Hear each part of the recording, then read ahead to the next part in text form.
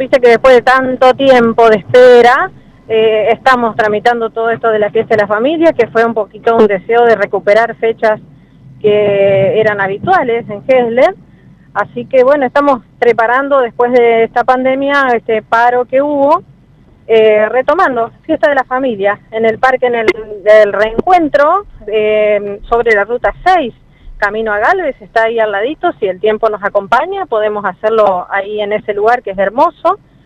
Eh, es entrada libre y gratuita, así que esperamos, la idea es despedir el año de, este año, que fue raro también, de juntar la familia, de pasarla bien, eh, donde el grupo Sensación nos va a estar animando la fiesta, la gente le gusta mucho bailar, hay seguidores de esa orquesta también, teniendo en cuenta que es un lugar abierto, una entrada libre y gratuita, hay sillas, pueden llevar sus sillones, su equipo de mate, eh, es libre, va a haber comidas también al paso, comidas sencillas, pis. Eh, invitarlos a todos para que nos acompañen a esta despedida de año, reuniendo a la familia el día 7 de diciembre, que es vísperas de, del 8 de diciembre, el Día de la Virgen, eh, bueno, así pueden descansar el día después, esperándolos para ese día. Recuerden que anima Grupo Sensación eh, para poder bailar, disfrutar y despedir un año raro, pero lindo.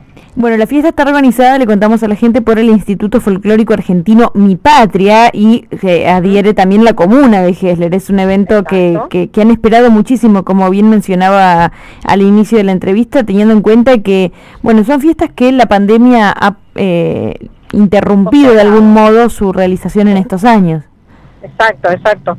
Sí, sí, eh, sí, tenemos la presencia de la comuna siempre en estos eventos, nos acompaña totalmente.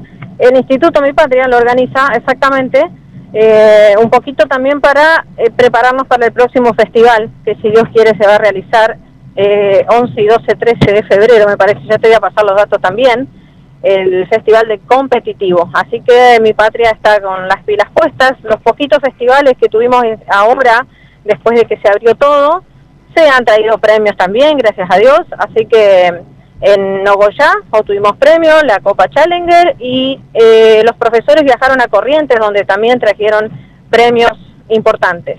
Así que bueno, estamos trabajando. En poco a poco reactivando. reactivando, trabajando, sí, sí, poniéndonos al día, digamos. Así que bueno, este es un evento donde nos vuelve a juntar la familia. Bueno, está pensado para el geslerino, pero también invitamos a todo el que se quiera sumar de, toda la región, de la redonda.